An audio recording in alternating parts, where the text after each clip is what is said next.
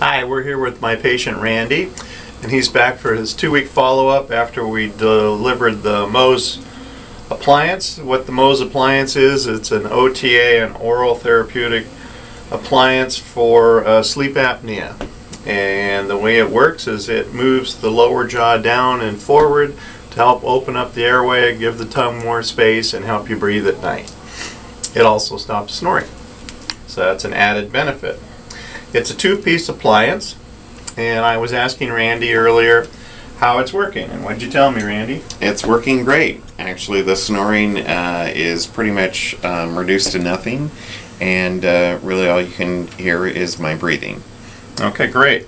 And uh, let's just put this in so we can show people. There's an upper little retainer appliance that's nice and soft, and that keeps the protection for the upper teeth. And then the lower appliance, a little more bulky and cumbersome, but not too bad. Snaps in right like that. The patient closes in.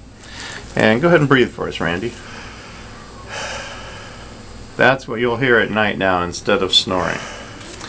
And you can see it gives the airway plenty of room, gives the tongue plenty of space here. There are many types of these appliances, but we're really happy with the Moses because the tongue has plenty of room. And I've found, I also have sleep apnea, and I've found the devices I've used over the past, they have uh, an adjustment in the anterior portion that gets in the way of your tongue. So I'm really pleased with this appliance, and I think Randy will be from now on too. Yep.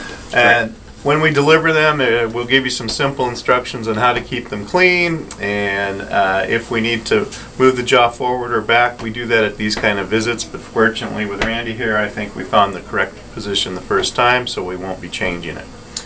So I'd like to thank Randy for letting me film him, and that's the Moses appliance for sleep apnea.